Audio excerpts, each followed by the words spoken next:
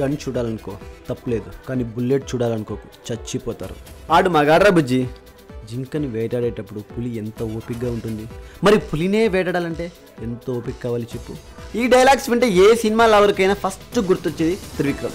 అయినా మర్చిపోయేలా సినిమా తీశాడా త్రివిక్రమ్? నాకు మాత్రం ఈ సినిమా ఎన్నిసార్లు చూసినా బోర్ కొట్టదు.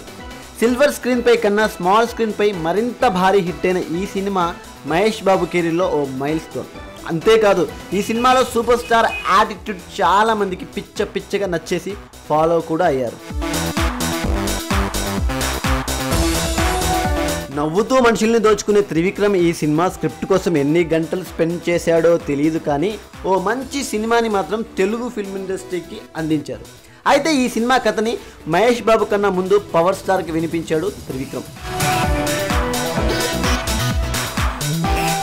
అదేంటో స్వాతి ముత్యం సినిమాలో?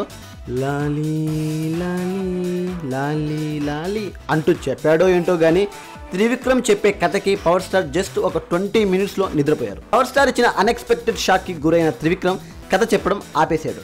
ఆ తర్వాత మెలుగు రావడం త్రివిక్రమ్ నిశ్శబ్దంగా బయటికి వచ్చేయడం జరిగింది. సో ఆ విధంగా పవన్ కళ్యాణ్ ఈ సినిమా కథని సరిగ్గా వినలేకపోయారు.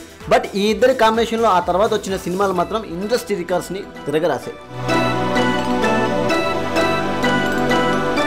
చూసారుగా అతడు వెనుక దాగున్న ఓ ఫిల్మీ ఫ్యాక్ట్. ఇక లాస్ట్ బట్ నాట్ లీస్ట్ మీకు మా ఛానల్ నచ్చినట్టయితే సబ్స్క్రైబ్ మూవీ వాల్యూమ్.